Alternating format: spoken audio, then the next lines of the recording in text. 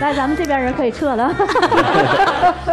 来吧，接下来咱们也通过一个那个爱的考验哈，来帮大家问一问对方感兴趣的话题，好吧？从中选择两道题来问对方，我帮您念一下啊。如果走到一起是领证还是搭伙过？家里几天一收拾卫生？三啥样的人你坚决不找？说一个我身上的缺点。你和你的前任还有联系吗？咱俩之间的年龄差你怎么看？首先请女嘉宾选择一道题。家里几天你收拾一收拾一次卫生？你怎么天天收拾？哦，呀，我都得呃两三天、三四天。不要求对方帮你收拾吗？以后不用，我可以都我可以收拾。天哪，正好呢，这人。来，男嘉宾选择一道题。选择六吧。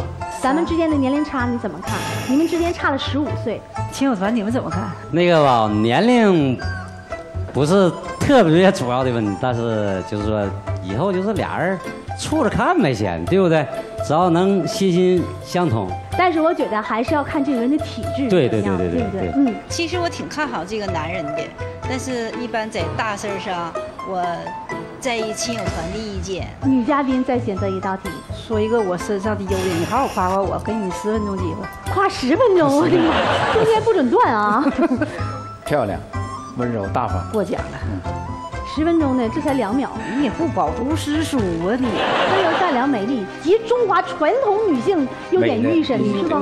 回去好好看看字典，字典上能夸夸背，尤其夸我的词更多。得背是吧？嗯，女人能做到我这三句话的，基本基本都是很优秀的。咱们男嘉宾选择一道题，什么样的人坚决不挑？打麻将。跳舞坚决不要，打麻将、跳舞就这两样。抽烟喝酒可以，抽烟抽点小烟，离我一百米。你浑身天然气，怕着？他说离我五百米有点远，还得追他去。一百米就是离开了。你抽烟吗？啊，不抽。不抽烟啊，那就不存在问题了。跳舞吗？